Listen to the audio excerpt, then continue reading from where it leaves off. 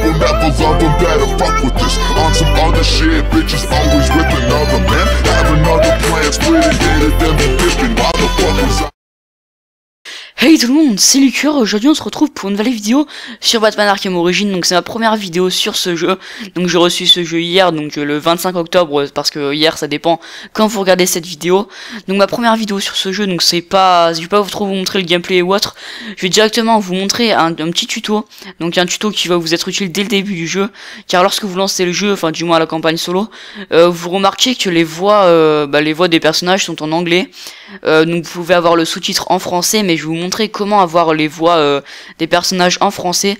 Donc euh, de toute façon sur Batman Arkham City à la base c'était déjà en français, mais sur Batman Arkham Origins, faut faire une petite manipulation pour euh, pour avoir les voix en français. Donc j'ai directement vous montrer cela. Donc lorsque vous êtes sur le menu du jeu, vous installez vous allez sur installer le pack de voix. Donc ensuite, ça vous mettre, veuillez insérer le disque suivant. Donc là, il faut donc éjecter votre disque, le disque 1, et remplacer le disque 1 par le disque 2. Euh, attention à pas faire, faut pas faire interface Xbox, puis ensuite euh, éjecter le disque 1 et tout.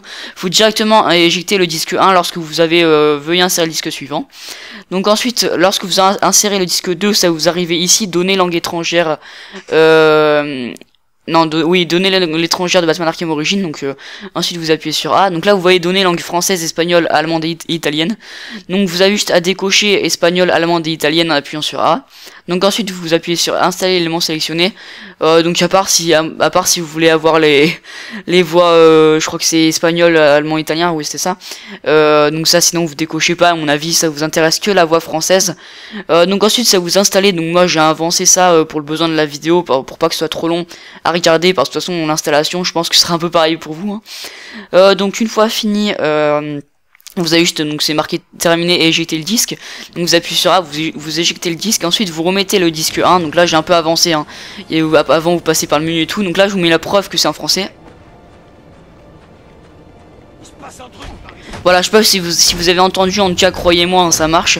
Euh, donc en tout cas, j'espère que ce tuto vous sera utile. Si c'est le cas, n'hésitez pas à liker la vidéo et à vous, abonner à ma chaîne pour d'autres tutos sur Batman Arkham Origins ou bien même pour d'autres vidéos en général. Donc moi, je vous dis à bientôt pour de nouvelles vidéos.